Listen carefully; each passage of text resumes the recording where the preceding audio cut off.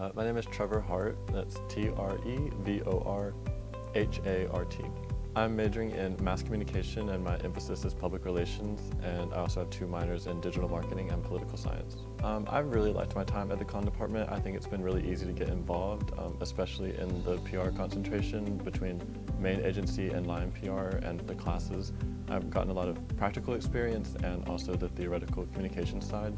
Um, and then also through the internship program, I think the communication department has really prepared me for my career after I graduate. After I graduate, I'll be moving to Iowa where I'll be completing a graduate program in communication and media and I'll be working as a graduate teaching assistant in their communication department. I do think that my time has prepared me um, to go into the real world uh, between my aspirations to work in a public relations agency and also to go into teaching one day at a university, I feel like I've gotten the skill set that I need with my degree.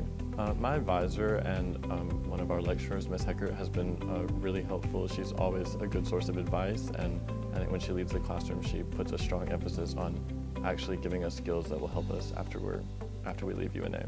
My biggest piece of advice for incoming freshmen would be to not waste any time getting involved, um, even if you feel intimidated at first when you're a freshman. Um, like just go for it because nobody is going to judge you, and they'll be they'll be happy for it that you're getting involved, and it's um, really the best thing that you can do to feel like you've gotten the most out of your time at UNA.